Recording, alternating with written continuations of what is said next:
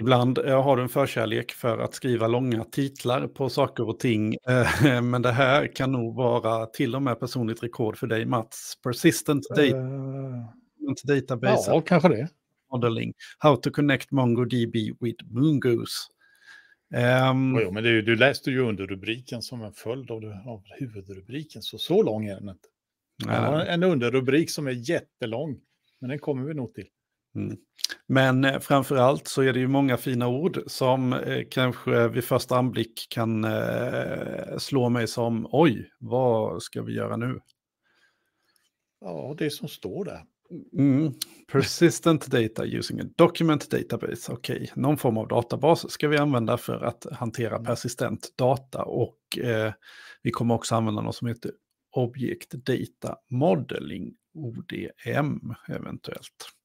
Ja, Eh, kan det vara som så att efter den här föreläsningen då eh, förstår man den här rubriken? Det är det som är meningen. Men alltså, nu sa du liksom persistent data, men vad är det då? Mm. Per, Mm. Persistent, ska, ska, vill du ha svaret direkt? Eller ska, Ja.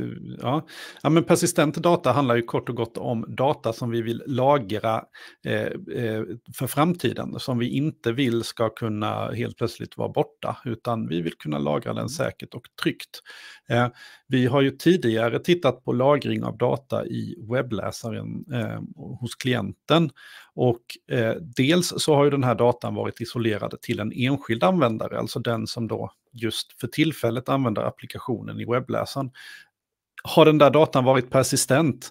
Mm, Ja, vi har haft en diskussion kring det där att, att data som lagras på klienten, förvisso så kan den vara persistent under till och med flera år när man använder den här applikationen. Men det finns ändå inga garantier, vi har ingen kontroll över den här datan, vi kan inte göra backuper på den här datan. Väljer användaren att till exempel ta bort webbläsaren och installera den igen eller någonting så kan den här datan försvinna.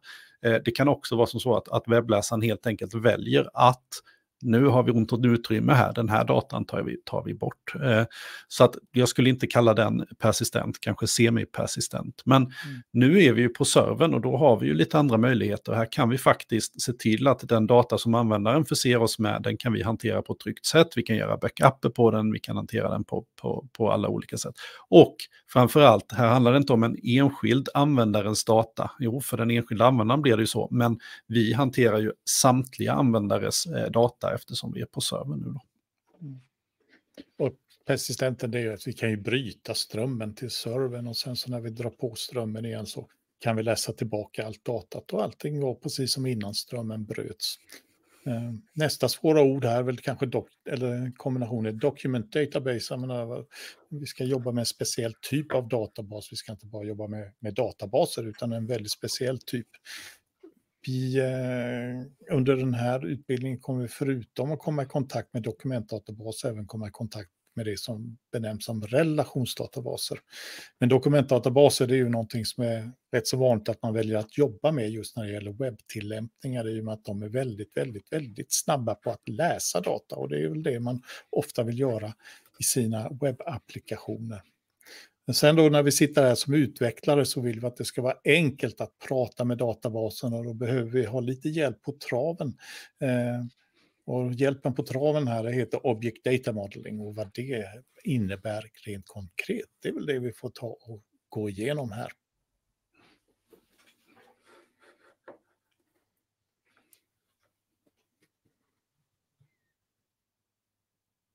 Ska jag bara byta bild också, måste bara hitta rätt bland allting. Mm. Det här känner vi ju igen lite sedan tidigare egentligen, eller men då var det ju lite röda kryss över saker här. Eh, det ska vi inte längre ha här. Eh, röda kryss över saker, utan här ska vi lägga till just databasen. Vi ska ta och lägga dit någonting som kallas modeller. Men i övrigt så är det fortfarande som så att det är klienten som gör en, eh, en förfrågan till vår server och då tar vi emot den där in och, och behandlar den här förfrågan och översätter den till någon typ av route. Och den här routern hjälper er då till att välja ut en kontroller och kontrollermetod som ska exekveras. Ehm, nu är det inte bara kontrollens roll här att välja ut vilken vy som ska användas för att presentera datat som sedan ska skickas som ett svar då till klienten, utan kontrollen ska också i det här fallet hämta data ifrån databasen genom någonting som kallas models då, och få tillbaka eh, data ifrån databasen genom models. Och den här data som man får tillbaka skickas även till vyn och vyn då kan stoppa in det här datat, eh, eller vymotorn kan snarare stoppa in det här datat i vyn som sedermera skickas över till klienten. Så vi har lagt på lite extra grejer jämfört med hur vi tittade på det här tidigare. Ehm, det här kallas då, som, som eh, kallas då för en CRUD-applikation, där CRUD har ju sin betydelse. Ehm, det finns rätt så många olika eh, benämningar för det här, men CRUD är väl den som är väldigt vanligt förekommande, där C står för Create, det vill säga att vi kan skapa resurser. Eh, R står för read, vi kan läsa olika typer av resurser eller data. U står för update för att uppdatera och D står för delete för att ta bort saker. Så nu får vi verktygen som vi egentligen behöver just för att hantera data som är dynamiskt. Vi kan läsa det, vi kan skapa det, vi kan uppdatera och vi kan ta bort det. Mm. Och just det här med krudd, jag menar det är någonting som kommer återkomma. Vi eh, kommer ha ytterligare inspelningar bara rent kopplat till, till kruddfunktionaliteten här.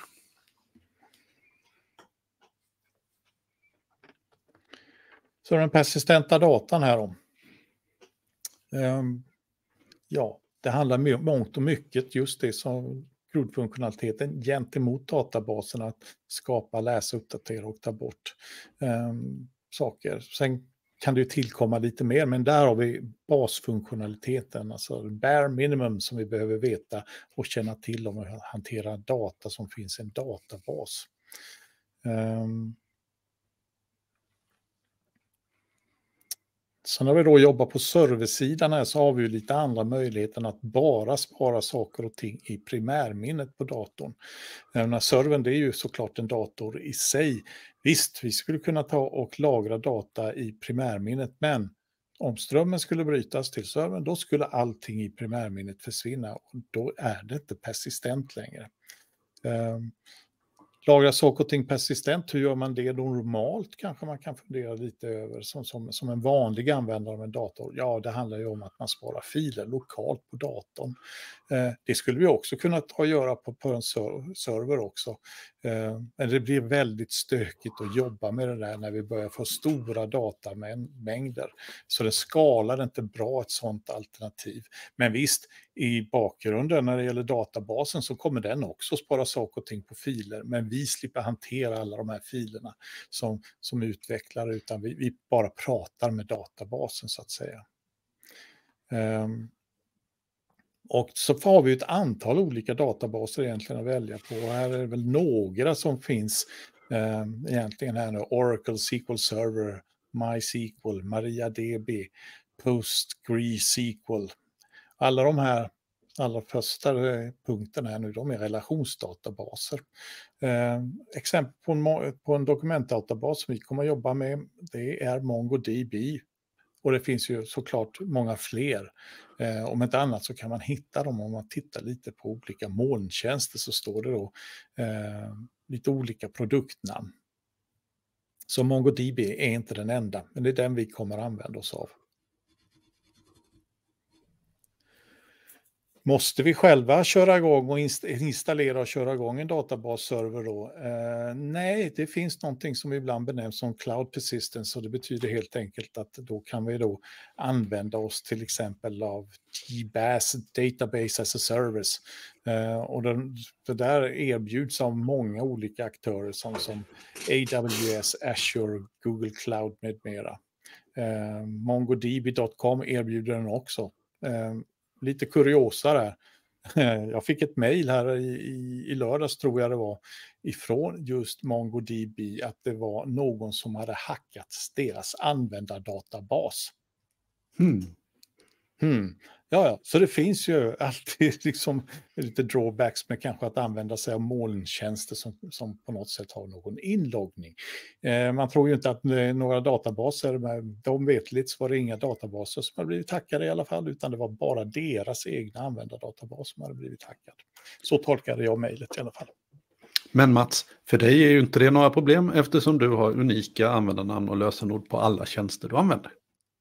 Ja, visst är det så. Mm. Jag frågar mig inte vilka lösenord det är, för det, det har jag ingen aning om. Nej, och eh, det handlar ju helt enkelt om att eh, använda sig av eh, lösenordshanterare så att man kan ha den typen av säkerhet. Då kan man sova ganska lugnt efter ett sånt här mejl. Ehm, det finns ju nackdelar såklart och fördelar med, de olika. Eh, fördelarna med cloud persistence det är ju att då har vi någon annan som tar hand om driften av den här databasen, ser till så mm. att den inte blir hackad, ser eh, till att man har backup-rutiner, att datan och så vidare och så vidare. För kontrollfriket kan ju det där vara lite jobbigt att låta någon annan ta hand om det där. För andra kan det vara skönt att låta någon annan ta hand om det där. Men det kommer ja. till en kostnad eh, dubbelt sett. Dels så behöver vi betala förmodligen en kostnad för att eh, drifta och, det här. Eh, den kostnaden i och för sig, den är svår att komma undan vilken väg man än väljer för, för att det finns alltid en kostnad involverad. Och eh, dessutom så kanske vi betalar till viss del beroende på hur vi driftar resten av vår applikation. Men man kan ju också eh, eh, betala ett pris i prestanda, det vill säga att vår applikation som kanske ligger på något annat kluster behöver ansluta in mot en databas över internet och att, att vi kan få en viss prestandaförlust där. Nu är det väl ofta i praktiken som så att om vi driftar vår applikation i Azure då kanske vi också har databashanteraren i Azures moln och då, då, då slipper vi den nackdelen så att säga. Men det är ju rätt så väl investerade pengar. Ehm, för persistent data, det är som alltså data som är meningen att det ska finnas där för alltid. Om man inte själv tar bort det då. Ehm, det vill man inte att det bara ska försvinna av en olyckshändelse. Om man nu gör något misstag när man själv administrerar det här. Så, ehm, det är inga lätta saker då, att drifta databaser. Men vi väljer den enkla lösningen under den här kursen. Och rekommenderar väl att man installerar sin egen databas. Det mm. har mindre betydelse i den här kursen. Ja. Ja, och det handlar ju bland annat om det här att många av de här tjänsterna så behöver man ju registrera sig, skapa konto, man får någon gratisplan, man behöver koppla ett kreditkort och, och så vidare. Och mm. vi, vi kommer att titta på att köra detta lokalt istället och, och i vår CS Cloud-miljö, så då behöver ni inte gå igenom de bitarna. För vi kommer att använda databaser, vi måste använda databaser i den här uppgiften. Um, och vi ska ju så hämta in datat, vi ska lägga till data, det ska gå att modifiera, det ska kunna tas bort. Man ska kunna fråga datat och filtrera och sortera. Ja, det finns väldigt mycket som kan bli intressant när vi jobbar med data, i synnerhet när vi börjar få lite större datamängder också dessutom. Eh, och som sagt, man kan ju se till liksom att drifta den här databasen helt och hållet själv eller låta någon annan göra det. Och av de anledningarna som du pekar på där Johan så säger vi ju det eh, att eh, vi driftar den själv i den här kursen. Ehm, ja. Ja, nej, men och den stacken vi tittar på här nu eh, med klient, vi har en reversed proxy, vi har en web application, eh, server med Node Express och sen har vi databasen MongoDB längst ner. Det är ju exakt den stacken vi, vi, vi exekverar, i alla fall på, på servern när vi installerar det här på, Service Cloud, eh, på, på CS Cloud bakom NGINXen. Mm så saknas det faktiskt nästan en liten sak där, som, som du läste upp där beträffande Web Application Server där med, med Node.js och Express. Det kanske skulle ha stått Mongoose, det är ju den som är den här ODMen ju, som vi använder oss av för att kunna prata med MongoDB på ett enkelt sätt, för den ger oss väldigt mycket. Mm. Um, så, så slipper vi att, att skriva massa kod i onödan det finns någon som redan har gjort det där åt oss och det enda vi behöver lära oss är att använda det där på ett bra sätt. Det här med nu i eh, den här kursen så, så har vi valt att använda oss av, av MongoDB. Du, jag tyckte du nämnde här i inledningen, finns det olika typer av eh, databashanterare? Ja, det finns det ju och jag menar de huvudtyperna som, som man brukar prata om då, det finns ytterligare än de här så är det ju relationsdatabaser och det som kallas då eh, egentligen då dokumentdatabas eller non-relational databases, eller liksom ett, ett, ord som var väldigt på modet för, för några år sedan i alla fall, NoSQL databases. Um, men relationsdatabaser, det kommer vi inte att jobba med i den här kursen i alla fall, utan det kommer man att få fördjupad kunskap i om man väljer att läsa en relationsdatabaskurs i eh, tvåan är det väl. Mm. Um, men där organiserar man datat, kanske inte i form av dokument som man brukar benämna det här då när det gäller dokumentdatabaser, utan snarare i tabeller med kolumner och, och rader. Och sen när man frågar, det där, dat, eh, frågar databasen efter data, då använder man ett specifikt språk som kallas Structured Query Language SQL. Eh, och här är det ju de här större aktörerna då, det finns många att välja på, men Oracle, SQL Server, MySQL och dess L efterföljare MariaDB och PostgreSQL och, och, och, och, och, och, och. Um, men det vi ska jobba med här i alla fall, det, det, det är ju dokumentdatabasen som, som, som, som, inte är då en, en relationsdatabas, utan eh, där organiserar vi allt datat i dokument helt enkelt. Och MongoDB som vi kommer att jobba med är ett exempel, Firebase är ett annat exempel. Eh, men så finns det ju andra typer av, databaser också. Eh, grafdatabaser. Eh, sen har vi då nyckelvärdedatabaser. Eh, Kanske är det någon som kommer ge sig på att använda Redis, därför det, den brukar man faktiskt använda när det gäller att hantera viss typ av data, men det har vi inget krav på egentligen under kursen. Mm. Um, någon, någon, specifik anledning egentligen att vi har valt just en dokumentdatabas och att vi inte går på relationsdatabasen här. Det är kanske det mer traditionella att man faktiskt, i alla fall upplever jag det som så när man tittar på, på många utbildningar och sådär, att man kanske inleder med POP och MySQL eller någonting så här. Mm. Det, jag skulle säga, det är skenbart enklare att jobba med en dokumentdatabas.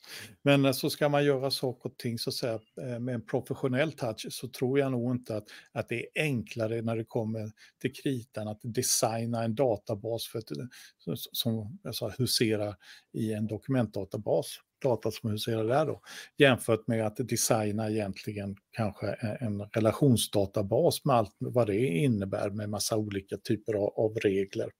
Um, men att komma igång enkelt och snabbt att jobba med persistent data, där vill jag nog, där tycker jag uh, att det är oerhört mycket enklare att komma igång snabbt om vi jobbar med en dokumentdatabas istället för en relationsdatabas. Och faktum är ju att, att eh, om jag inte missminner mig så var det, är det alltså webbprogrammerare som ligger bakom att det finns någonting som benämns som dokumentdatabas eftersom de inte var nöjda med, med relationsdatabaser. Det, tog, då det var för komplext, det var för bökigt, det var för stökigt att hämta massa information. Eh, det tog alldeles, alldeles, alldeles för lång tid, vilket påverkade svarstiderna ut till eh, klienterna.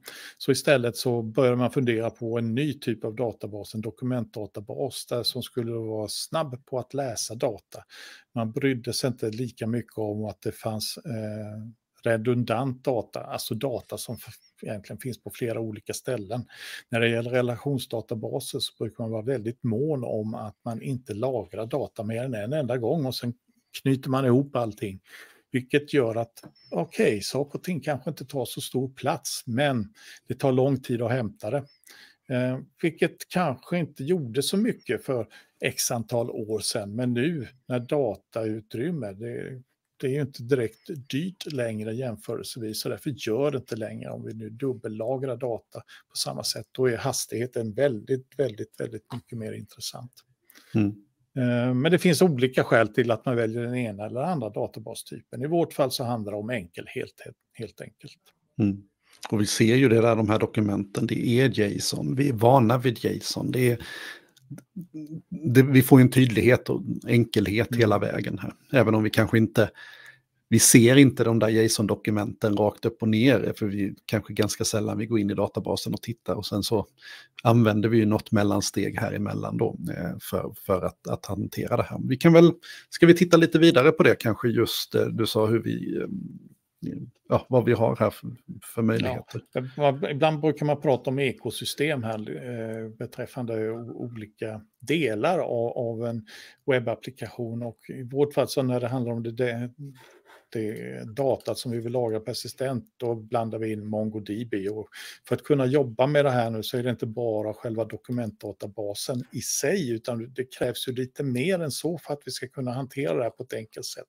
Så i vårt fall så kommer ekosystemet att bestå av såklart då MongoDB som kommer att vara själva databasen. Men för att vi ska kunna prata med databasen på ett enkelt sätt så kommer vi använda, av någon, använda oss av någonting som heter Moongoose. Um, då, som, som är ett Object Data Modeling-bibliotek, eh, ODM-bibliotek då, eh, som vi kan använda oss av på Node.js för att prata med en MongoDB-databas helt enkelt. Um, och det här är ju någonting som vi hittar på NPM så vi kan installera helt enkelt Moongoose. Um, och man kan göra väldigt mycket olika saker på, med Mongoose och man kan göra det på väldigt många olika sätt. I det sättet som vi kommer att jobba med datat på eh, med hjälp av Mongoose, det kommer väl eh, ja, ha sina orsaker till att vi har valt just den uppsättningen av kommandon att jobba med och det har helt enkelt att eh, när det helt enkelt att göra med att när vi kommer till någonting som heter samtidighetskontroll. För vi vill ju skriva faktiskt applikationer som är populära som har fler användare än en och då måste ju fler än en samsas med datat och då kanske vi måste använda oss av Mogos på något speciellt sätt. Men, och det speciella sättet, det kommer vi att jobba med här också. Sen kan man då lägga på den här samtidighetskontrollen om man så vill med hjälp av att ändra på lite konfigurationer. Men vi måste lära oss att göra de här CRUD-operationerna först på ett korrekt sätt. Eh, och det är det som vi kommer använda just av Mogos till då. Eh, Måste... MongoDB, ja, stor aktör när det gäller dokumentdatabaser. Eh, skalar bra. Små applikationer fungerar bra. Stora applikationer fungerar den bra. Eh, vi behöver inte driftsätta en egen server med, med MongoDB. Vi kan använda oss av MongoDBs eh, molntjänst Atlas också. Eh, men vi kommer ju som sagt att diskutera hur man jobbar gentemot datat och när du har en lo egen lokal server. Kan, kan, kan vi se Mungos lite som vi har sett Express här, att vi, vi kan sätta upp en egen webbserver med Node och vi kan hantera alla rutter med eh, eh, reguljära uttryck som vi har tittat på och sådär. Men det blev väldigt, väldigt bökigt. Kan vi se Mungos på samma sätt att, att vi skulle kunna jobba mot den här databashanteraren direkt, men, men Mungos ger oss eh, enkelhet eh, här, eller hur, hur, ser vi på det? Ja, så, ja, så är det definitivt. Alltså att vi, visst, vi skulle kunna stryka Eh, Mungos helt och hållet, men då får vi nog ägna oss några veckor åt att lära oss att prata med MongoDB med hjälp av eh, de rena, bara liksom API-funktionerna som MongoDB erbjuder. Det blir väldigt mycket enklare för oss om vi använder oss av, av eh, Mungos här så, som ett mellanlager helt enkelt mellan koden vi skriver och vår webbapplikation och databasen. Och precis som när vi pratar ramverk så kan vi då utgå ifrån att det finns andra ODM för, för Mongo om, om man skulle vilja. Men, men det finns väl en anledning till att just Mongos är det vi har valt att det är det populäraste och största när det kommer till Node-plattformen. Ja, så är det. Hur, nästa steg här nu måste ju vara, okej, okay, då, då, behöver vi en databas eh, på lokalt, sa vi, och då borde det väl vara som så att eh, nästa steg är att installera den då på, på vår eh, dator, antar jag. Nej, Nej. Nej. Okej. Okay. Så här gör vi istället. Mm -hmm. Jag kanske vill ha flera olika instanser, versioner egentligen av, eh, av eh, min MongoDB. För beroende på lite vad den driftsar så kanske jag vill köra version 5. Eller som, som den senaste som är version 7.04 och så vidare. Um, och det är ett enkelt sätt att göra det här då istället för, för att man installerar och kladda ner sin egen dator så kan jag ju köra allting i en container. Låt vara den där containern kommer ju snurra på din lokala dator också. Men till vår hjälp så måste vi då ha Docker. Eh, och installera, vad är det det heter, Docker Desktop eller någonting i den där mm. stilen heter det väl. Ehm, så då får man ju se till att man startar Docker då. Och sen så får man ju ta och hämta hem den senaste MongoDB Docker-imagen som finns. Och för stunden så är den senaste, vad jag vet, är 7.0.4. Ehm, och sen när man väl har hämtat hem den där, nästa steg, det är ju att köra igång den här också och specificera den informationen som, som, behövs för att vi ska kunna ta och, och köra igång vår MongoDB-server helt enkelt. Eh, och då ska vi prata med den här servern och nu är det inte en webbserver så det är inte port 80, det är inte port 443 utan i det här fallet så är det port 27017 som vi behöver prata med. Ehm, och då kan vi köra igång den här med hjälp av Docker Run och några andra eh, options här som minus D, minus P, minus minus name och så vidare. Och sen så även vilken image det är som vi har hämtat hem. Um, du, du har ju valt 704 här eh, mm. nu när vi sitter och spelar in det den 18 december 2023. Då. Eh, och det här kan ju givetvis vara som så att när, när du tittar på, på den här inspelningen så kan det ha kommit nya versioner. Så det där behöver man ju vara lite uppmärksam på. Hur, hur får jag reda på vilken version jag ska köra här? Ja, då brukar jag gå in på eh, hubdocker.com och där kan jag då ta leta reda på den senaste versionen.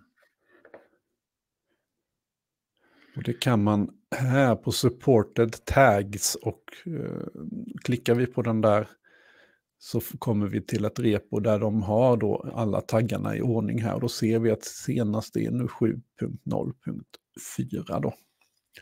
Så här kan vi också se vilka tidigare versioner som eh, finns nu. Nu vet jag Johan att du installerade den här precis innan vi spelade in här. Men då, då skrev inte du 7.0.4? Nej, jag var lite lat så jag skrev latest för jag visste inte vilken det var som var den senaste. Då, då får jag ju den senaste Men, versionen. Ja. Men jag brukar alltid ange det där bara för att då vet jag exakt vilka versioner det, är som jag installerar. Varför är då detta intressant? Jo, Mongoose den jobbar ju såklart emot de olika versionerna av MongoDB som man installerar. Eh, men då måste man ju se till så att man parar ihop rätt version av MongoDB med rätt version av Mongoose till exempel. Mm. Ehm, så genom att skriva det här, ja, då är man ju medveten om, att nu kör jag MongoDB version 7. Jaha, undrar vilken version av Mongoose jag måste använda mig av då. Ehm, det får man ju kolla upp i Mongoose-dokumentationen i så fall eh, vilken version det är som, som jag behöver använda där. Men oftast Men, så funkar det bra att plocka ner den senaste om man nu har den senaste versionen av eh, MongoDB också dessutom. Mm. Men det är viktigt här att, att tänka på detta, eh, speciellt om vi ska gå till produktion sen, så att vi inte kör med latest. För det är mycket möjligt att du körde ner latest på din utvecklingsdator, satt och jobbade med den i två månader och sen så trycker du upp det här på en produktionsdator och så kör den latest och då har det hänt väldigt mycket, så då får du ner en mm. nyare version på, eh, i produktionsmiljön och sen så helt plötsligt har det ändrats någonting som gör att din applikation slutar fungera i vissa sammanhang. Så att, eh, vi precis som med NPM-paket så bör vi här vara noggranna att, att se till att specificera mm. vilken version vi använder av Mongo. Sen kan vi prata med vår MongoDB-databas också faktiskt. Eh, man kan till exempel då ta och starta upp ett bash-shell gentemot den och där använda sig av eh, det senaste skalet att, att jobba med direkt mot MongoDB-databasen och Mongoose. Eh, och här kan vi till exempel då lista alla databaser som finns, eller vad det nu är vi vill, vill göra då. Men eh, det här finns det ju väldigt mycket mer att säga om runt omkring såklart. Precis, och det finns ju verktyg, speciella verktyg som kan ansluta mot MongoDB så att man kan titta på det här i en grafisk miljö och så vidare. Jag, jag misstänker att vi kommer få lite eh, anledning att återkomma till detta kanske. Mm. Ja. Um, Okej, okay, vi har då installerat vår eh, MongoDB. Jag har, eh, om vi tar mig som ett exempel här nu då, eh, jag har applikationen uppe och det finns ju då en exempelapplikation man kan dra nytta av här om man vill. Eh, vi kan se att jag inte har uppdaterat min Docker Desktop som jag kanske borde, men eh, det får väl vara för nu då. Eh, går jag in i min Docker Desktop, det här ändrar ju sig hela tiden hur just Docker Desktop ser ut. Jag misstänker också att det kan se olika ut på Windows och MacOS. Men jag kan ju se att jag har MongoDB och då latest här nu eftersom jag var lite lat i running och den ligger ju då på den här 27017. Så att så här bör det se ut när vi har genomfört det här steget så att vi har en databashanterare som som är igång och kör här nu då.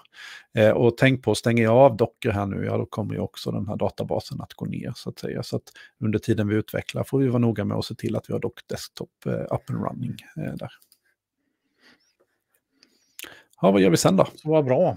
Ja, sen då? Ja, då är det väl dags att börja ansluta gentemot den här eh, databasen. Um, ifrån såklart vår webbapplikation. Och det här är då utbrutet i en konfigurationsfil som heter mongoose.js. Eh, och den här hittar du i exempelapplikationen.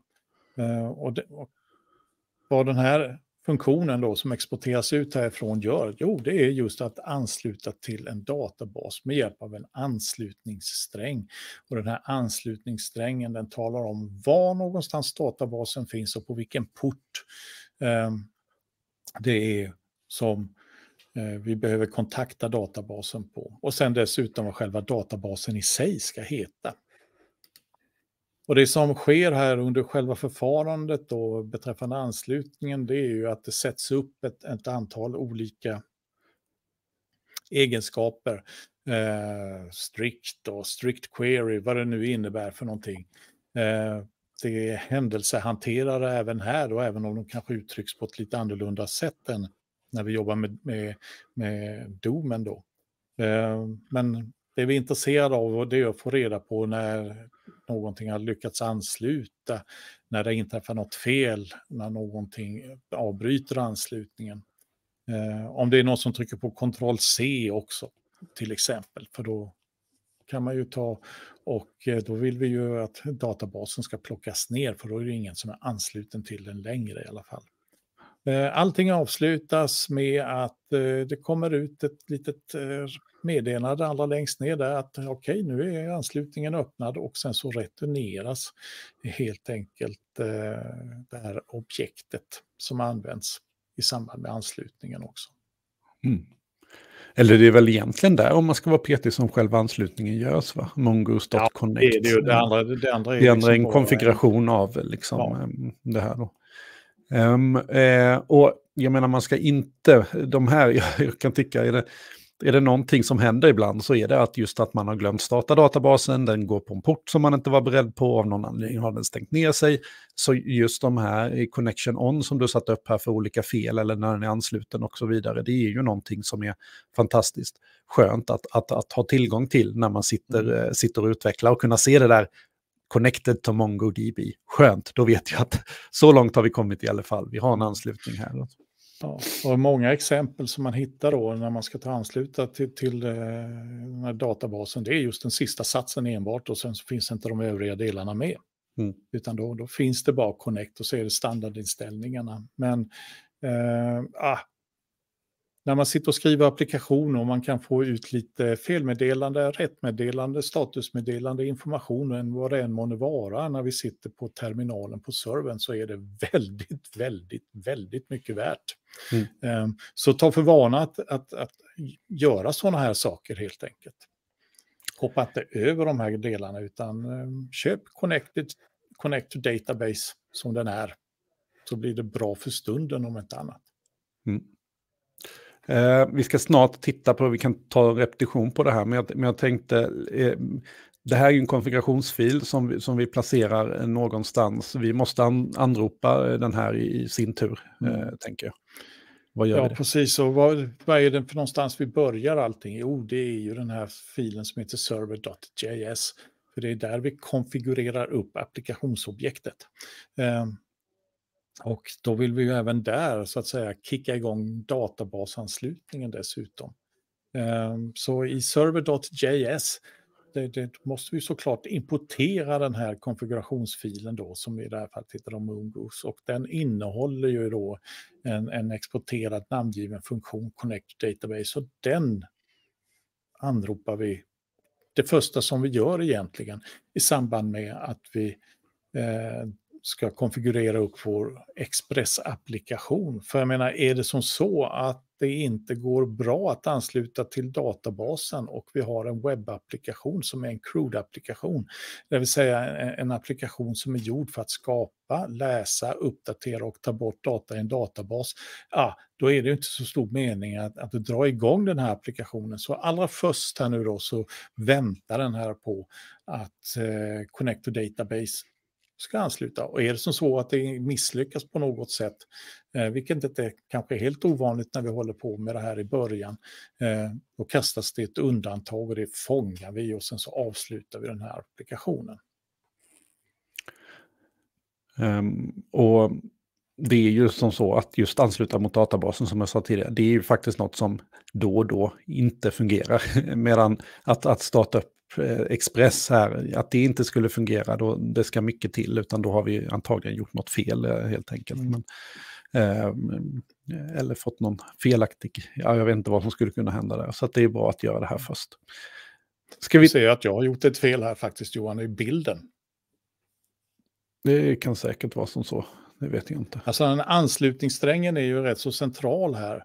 Ja. Det här är ju ingenting som vi vill eh, hårdkoda in i, i vår källkod, utan eh, den där kan ju ändras både en och två och tre och fyra och fem gånger eh, under tiden som vi bara sitter och utvecklar, för att inte tala om när vi kommer till produktionssättning. Så därför ska vi ju ha den här i form av en miljövariabel, därav att det står process.n.db underscore connection underscore string. Mm. Men som det står till höger ja, här då, så står det ju att man ska använda av .n package eh, när man utvecklar. Men nej, gör inte det. Eh, eftersom numera från med version 20.6 av eh, Node.js så behövs man inte ha något externt paket längre utan man får hantera det på lite annat sätt. Och det andra sättet, det var ju faktiskt, har vi visat här tidigare, det hittar vi uh, uh, i, uh, om vi går in i, i server. nej, fel, package.json här, så, så är det ju just att vi pekar ut vilken env-fil vi vill ha här under npm run dev. Eh, men vi kan väl ta en liten titt här då. Eh, vad har tillkommit här? Jo, vi ser att vi har en config-katalog här uppe och där har vi Moongoose. Det finns också session options här, men den, den tar vi till ett lite senare tillfälle. Men vi ser att vi har en moongoose.js. Vi kan gå in i vår serverfil då och se att moongoose.js, den eh, läser vi in connect to database mycket riktigt. Och vad är det första vi gör innan vi startar vår Express-app? Jo, connect to database och sen så skickar vi med den här miljövariabeln, precis som du sa. Var hittar vi miljövariabeln? Jo, det gör vi ju i den här .env-filen, där vi tidigare hade eh, port och base URL tror jag vi också hade va? Mm. Och den kan vi ha kvar om vi vill. Um, och då gör jag, ja, nu kör, vi kör så då. Eh, så de här två hade vi tidigare. De här session name och session secret, de kommer vi till, men de krävs just nu för att den här applikationen ska kicka igång. Och eh, sen här har vi då den här connection stringen. Och i den här exempelfilen så finns det också eh, ett exempel på hur man skriver den med här. Så att eh, det kan man ju ta en titt på där om man är osäker. Mm. Ska den här alltid se ut så här, eller? Ja, det beror ju på lite hur man har driftsatt sin webbapplikation såklart, men eh, kör vi den lokalt så, så blir det ju localhost och mm. vi exponerade ju porten 27017 och vi drog igång vår container med den här, så det är därför den egentligen behöver se ut som den gör. Och det, mm. det den avslutas med här nu, tasks, det är just det namnet som databasen kommer att få. Och själva vår dokumentdatabas, så att säga. den kommer heta tasks helt enkelt.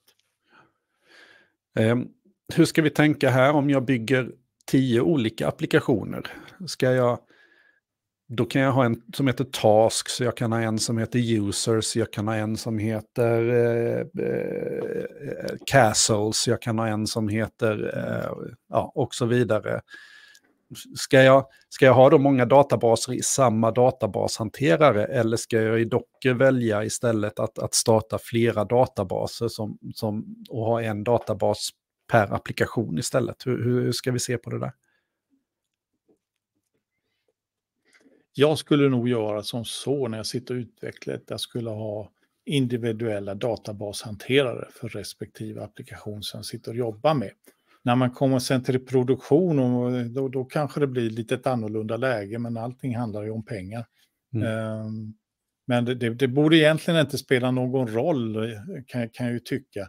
Men för ens egen skull så blir det väldigt mycket enklare om vi kan ha separata databashanterare. Mm.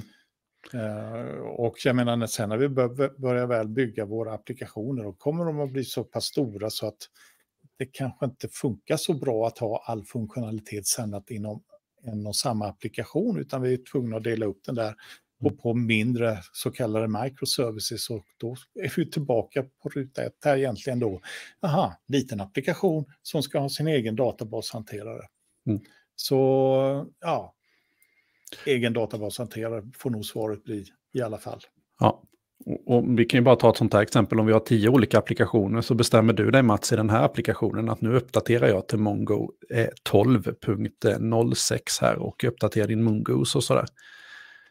Jaha, och så trycker du in den på servern samtidigt som alla de gamla applikationerna ligger kvar på det gamla. Hur kommer det att mm. fungera? Mm. Nej, då kanske du måste in och uppdatera alla de här applikationerna. Eh, hade du haft din egen databashanterare så kan du bara se till att det matchar inom applikationen då så det blir betydligt enklare. Så att ja, vi rekommenderar i den här kursen att vi kör en databashanterare per eh, applikation. Sen är inte sagt att en applikation bara behöver ha en databas. Det kan ju vara som så att en applikation mm. behöver två databaser. Vi har tasks och vi har users eller något sånt här. Så då kan vi ju styra det med olika connections-strängar om man vill. Eh, så att eh, eh, nu, nu kommer det väl troligare bli kanske att vi i och för sig i den här tasks har det går ju att ha under, eh, dela upp det här ytterligare om man vill, men det kommer vi väl att titta på. Mm. Ja, där var M-filen. Vi var i Server.js och ja, Connector Database, det låg ju i eh, config-katalogen config och i den här då modulen, ja då återfinner vi den här koden. Att vi tar in den här connection-stringen som var i M-filen eh, och sen så eh, konfigurerar vi vår anslutning med de här händelserna på vad som ska konsolloggas om något går fel och också det här då om man avbryter applikationen och sen tar vi en return Mungus Connect och det här är en asynkron funktion, Connect, det gör mm. ju också att vi måste ha en async här uppe eftersom Eh, det är det. Och då kan vi ju returnera den här asynkrona funktionen direkt. Det finns ju ingen anledning att göra en await på den här innan vi returnerar, utan det får vi hantera då eh, utanför här när, vi, eh, har andro, eller när den har returnerat det här promiset. Ja, även om vi nu inte tar hand om värdet som, som den returnerar så väntar vi på att all, hela anslutningsförfarandet är färdigt innan vi fortsätter med start, starten av vår webbapplikation. Då, när jag har startat upp den här så ser vi Mongoose connected to MongoDB, server is running at localhost och så vidare. Så att här har nu allting kickat mm. igång. Då eh, börjar det väl bli dags Mats att titta på, ja, hur, hur ska vi nu eh, jobba mot den här databasen när vi väl har, har fått igång den? Ja, allting börjar med ett schema här, för vi måste ju på något sätt tala om vad är det för data som vi vill spara i vår dokumentdatabas. Eh, och när vi använder oss av Moongoose så börjar allting med just ett schema där vi talar om, okej, okay, så här är själva mallen för ett sånt här dokument som vi vill spara i databasen. Och här talar man ju om då i princip de egenskaper som den här Eh, dokumentet ska ha. I det här fallet så är det någon typ av schema här som har att göra med bilar. Eh, där vi har själva tillverkaren Make. Det där är ju en sträng då och man är alltid tvungen att ange ett, ett värde för Make. Och sen så har vi då vilket år en modell eh, släpptes av tillverkaren är det väl då. Och här är det då number som är typen av datat och likadant här så måste man ange datat. Här spesar man också det minsta datat som, som är möjligt 1885, ja det var då den första bilen dök upp faktiskt. Eh, och sen så finns det inga bilar mer efter 2035 tydligen. Eh, jag vet jag inte om det är någon... Den där någon... Ja, det där visste du ja. att jag kommer att anmärka på. Eh, för det, sånt där är lite halvfarligt när man, man, man förutsätter något om framtiden. Man säger att ah, vi sätter den 12 år fram, det är lugnt. Och sen så lever den här jäkla applikationen förbi 2035 och ja. så kommer vi. Mm. Och, Men vet du Johan, jag bryr mig inte 2035. Vet du varför? Då har du gått till pension. Precis. Jag kanske är tvungen att ändra på, ändra på det där så att det blir 37 mm. eller 38 tyvärr. Men ja, ja, ja, ja. Det, det finns en mening med värdet 2035 och meningen är att visa att vi kan redan när vi skapar ett schema ange liksom villkoren för att vi ska eh, ha ett godtagbart värde. I det här fallet så var det heltal som det rörde sig om, så det var inte så komplext. Men vi kan också eh, tala om för strängar att de måste se ut på ett speciellt sätt. Eller att en sträng måste vara någon av de här 13 olika värdena till exempel. Så vi har stora möjligheter att utföra eh, och utforma våra scheman så att det passar våra dokument och de behoven som de har. Så schemat, det börjar vi med. Mm. Och för det här kan man se, om man sätter upp de här då, då kommer helt enkelt databasen inte att tillåta att vi trycker in dokument som innehåller felaktiga värden då?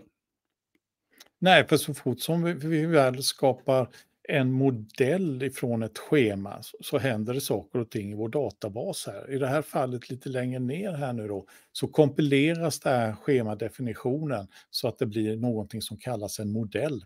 Och en modell i det här fallet så har den benämnts som CAR då. Eh, kommer det att leda till att i databasen så skapas det en samling som heter just CAR, fast i plural. Så den lägger alltså på ett S här nu, så den heter en CARS. Och sen dessutom så gör den om det här så att det bara är gemener. Alltså små bokstäver. Så CARS med litet C litet a, litet r och sen ett s på slutet så det blir plural också av det. Och det där sköter Mogo som automatiskt åt oss. Eh, och, det, och det som vi får tillbaka här egentligen, det är det som man kan benämna en modell då. Så varför inte namnge den här då Car Model? Mm. Då kan inte jag låta bli, utan då har jag en jobbig följdfråga här nu då. Nu ska inte du förklara Mungos, eller för, få försvara MongoDB här. Men, men om jag då vill spara får i, i min eh, databashanterare och då väljer jag ju Sheep som mm. eh, modellnamn. Kommer det att heta Sheeps eller kommer det att heta Sheep i... Eh... Ja, jag har inte provat vare sig med Sheep eller Airplane. Eh, så jag vet inte riktigt eh, hur den hanterar när pluralen heter likadant i singular, om det är det du är mm. ute efter. Mm, det är exakt det jag är ute efter. Um, jag, jag, kan väl misstänka att den bara lägger på S där, men och så får det funka i, i ja. de flesta fall. Fiskar, fish. Det kan ju bli aktuellt i årskurs eh, två här sen när man eh, ska göra en fiskdatabas. Då kan det ju faktiskt det kan ju vara spännande om någon tittar upp det där och ser, eh, ser vad som kan hända då. Ja, okay. ja, det är men, sådana men där det... grejer Johan som, som jag som lärare ibland sitter och funderar över. Det där måste jag testa, se vad det är som händer. Men nej, det har inte blivit av än. Nej, och det har kanske inte den mest praktiska betydelse heller. För att eh, som sagt, vi abstraherar ju bort det här, databasen tar hand om det. Mm. Vi behöver inte gå in och titta på det speciellt ofta, utan vi, vi jobbar mot eh, CAR som vi får här då som en, eh, en modell med, utifrån databasen. Men, alltså det är ju det här som är lite bakgrunden i alla fall till om när vi går in och tittar i vår databashanterare så leta inte efter någonting som heter CAR, för det kommer den inte hittas, utan där heter det CARS och det är mm. gemener. Och det är det här mm. som är bakgrunden till, i alla fall om vi använder Mungos för att eh, skapa samlingar och implementera CRUD-funktionalitet helt enkelt. Så jättebra, vi har ett schema som vi använder för att skapa en, en modell. Sen kan vi då använda den här modellen då för att skapa egentligen själva dokumenten då. Eh, och det här kan man göra på, på två olika sätt. Eh, man kan välja att jobba som vanligt, höll jag på att säga då, i alla fall när vi instanserar JavaScript-objekt genom att använda oss av new. Eh, och det vi skickar med sen då, det är ju liksom inte enskilda eh, värden bara som ska ligga på speciella platser så att säga i parameterlistan, utan här skickar vi med ett objekt också dessutom som kapslar in det här. För ibland kanske vi vill skapa modeller som inte innehåller vissa egenskaper. Varför man nu skulle vilja göra det, mm. men det kan ju finnas fall där man vill göra det. Så därför har man ifrån Mongos sida valt att dess konstruktor ska vara som sådan att den tar emot ett objekt och det objektet innehåller e-, egenskaper eh, med de värdena såklart då som man vill skapa en, ett dokument av. Och i det här fallet var ju Make och Model Year har vi ju sagt att de är required då, så att de måste vi skicka mm. med. Men det skulle ju kunna vara att vi har color här också. Och att det, det, det är valfritt att ange och då behöver vi inte ange den mm. när vi... Eh, vi behöver inte ange en tom sträng här så att säga, utan då anger vi inte color överhuvudtaget. Själv så använder jag egentligen det här sättet att skapa dokument med hjälp av New väldigt lite, utan istället så har det blivit att jag använder mig mer av det andra alternativet här som heter Create. För förutom att skapa en modell så gör den lite andra grejer. Något som jag rätt så ofta är intresserad av när jag skapar CRUD-applikationer, nämligen att skapa datat och spara det eh, i databasen. Och det är precis just det som Create gör. För det skapar ett nytt dokument och sen så automatiskt så sparar det i databasen dessutom. Mm. Så på den här MyCard Ja, på den här då hade du behövt göra någon anropa, eh, någon save-metod eller någonting för att ja. spara ner den. Mm. Och eh, i och med att man är tvungen att vänta nu på att databasen ska lagra datat så är den här en, eh, en, en asynkron Mm. metod också. Då, så därav await framför. Och create i det här fallet, den är statisk så därför så skriver vi car model dot innan create. Vi behöver inte instansera något, något objekt utan den här är funktionalitet som, som ligger på car model-typen, klassen. Mm. Då har vi har vi principerna klara för oss. Vi börjar mm. med ett skap, skapa ett schema. När vi har schemat så använder vi oss av det för att skapa en modell och när vi väl har modellen då kan vi börja jobba med saker och ting. Eh, men det finns väl lite mer saker eh, att säga kanske runt omkring det där med att skapa scheman och sen skapa modeller. Där har vi lite kod som påminner väldigt mycket om ungefär det som vi kommer att eh, jobba med så fort som vi har med modellklasser och modeller att göra helt enkelt.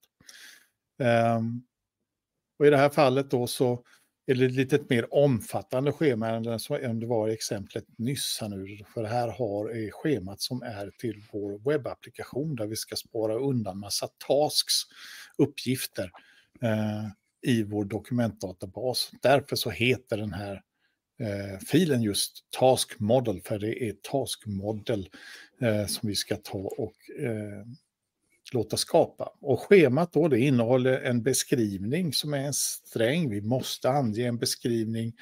Vi vill ta bort inledande och avslutande vita tecken, white spaces. Och den här strängen måste vara minst ett tecken lång. Det är just det som händer inledningsvis i schemat. Sen så den här beskrivningen, att köpa mjölk eller vad det nu kan vara för någonting, eh, vill vi i databasen kunna markera att den är gjord eller inte. Därav egenskapen done som har ett bolskt värde. Den måste man ange också och eh, ja, eh, dess standardvärde, om den inte skulle anges, är false. Det vill säga vi kan alltså skapa eh, en modell här, ett dokument och när vi skapar det dokumentet så kommer den automatiskt att bli false, även om vi inte anger det i samband med att vi skapar dokumentet. Så det är själva schemat där, men schemat finns en liten fortsättning på också här med, med någonting som heter timestamps. För ofta vill man reda på när saker och ting har hänt i en databas. När skapades det här dokumentet? När uppdaterades det här dokumentet? Med hjälp av Mungos så kan vi få en automatik i det där så den tar hand om allting som har med de här två sakerna att göra. Så att den lägger dit created at och den håller updated at eh, uppdaterad också. Sen är det ju här en modell då som har en massa funktionalitet i sig som Mungus tillhandahåller.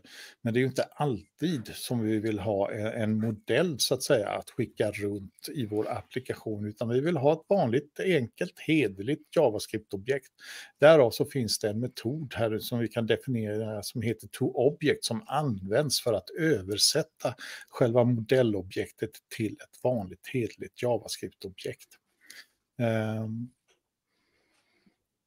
och då finns det någonting som heter virtuella egenskaper. kommer vi väl till. Ska det finnas med någon versionsnyckel av något sätt? Eh, när det här modellobjektet översätts till ett vanligt JavaScript-objekt, ska det tas bort några egenskaper i så fall? Ja, det ska det.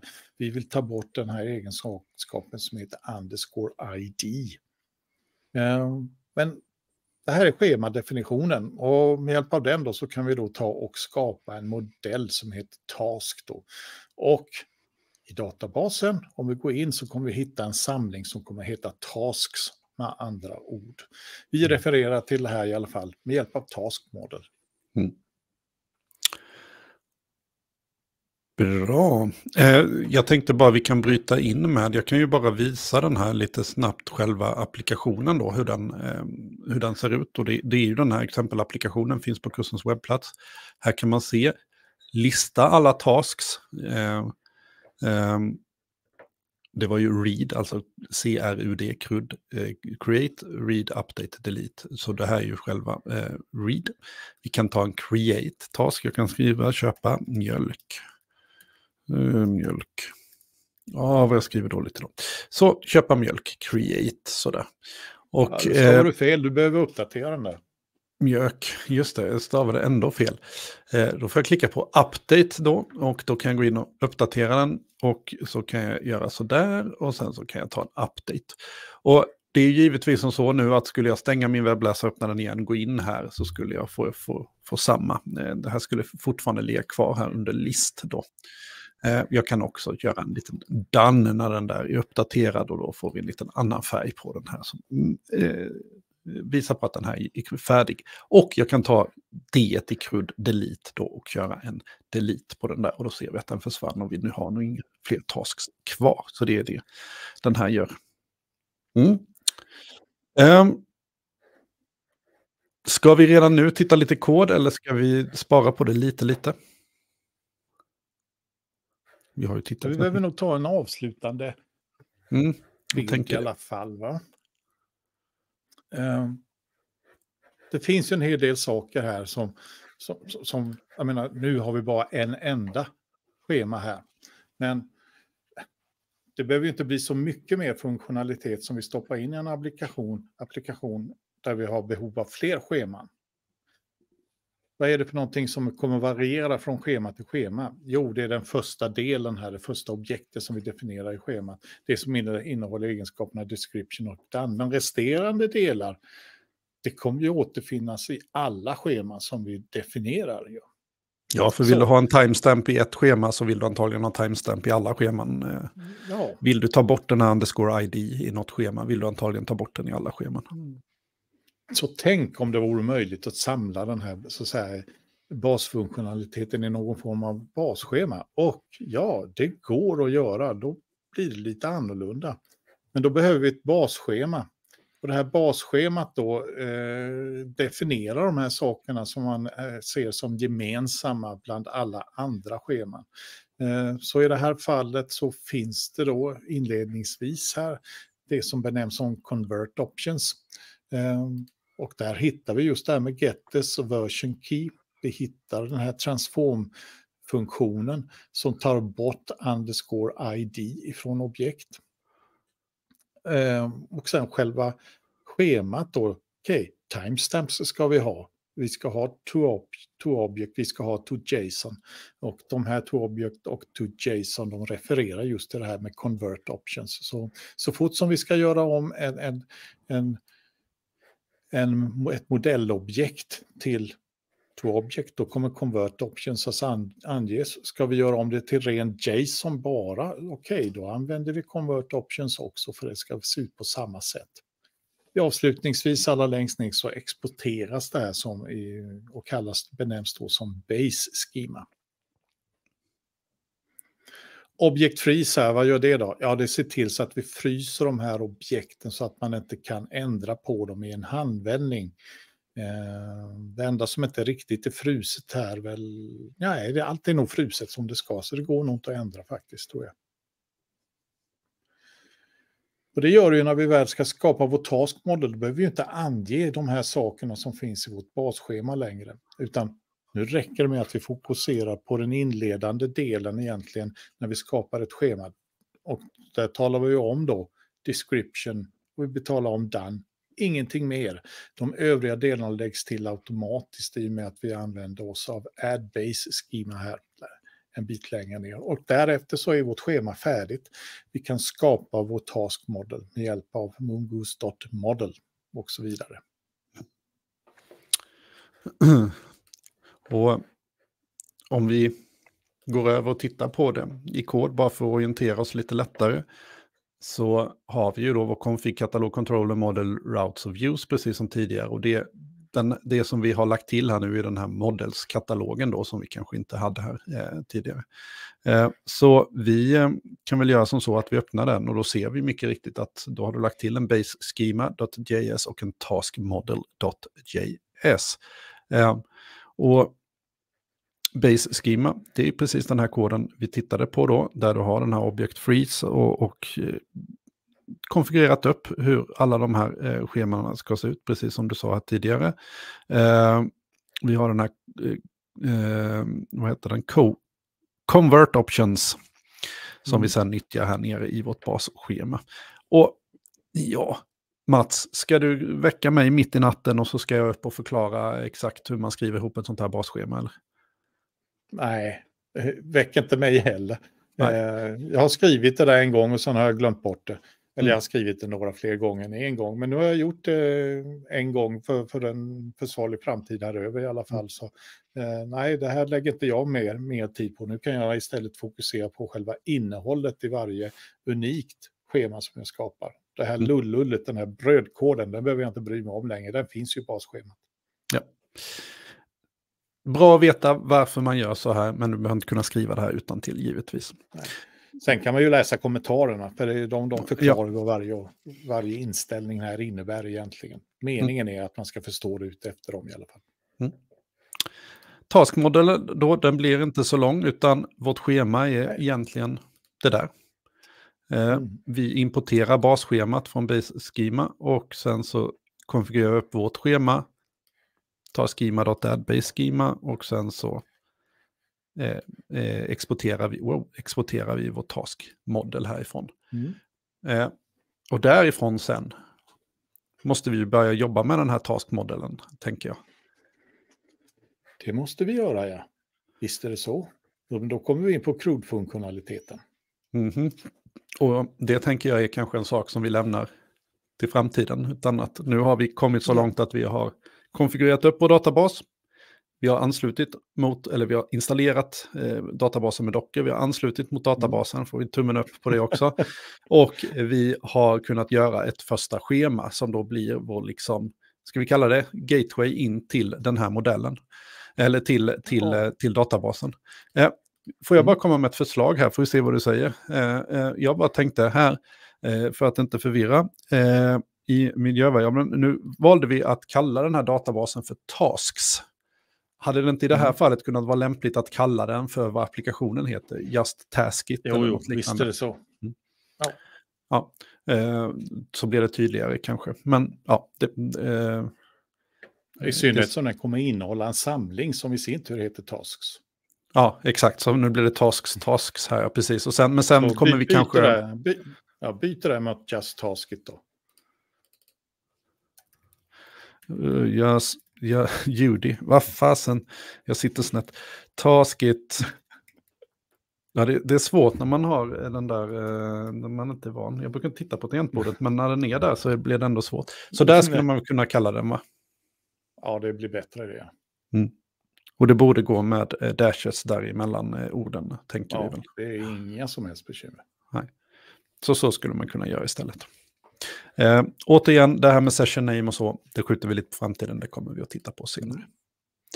Eh, med det tänker jag eh, att vi kanske kan lämna det där och så eh, fortsätter vi i en eh, annan inspelning. Hej på er! Hej!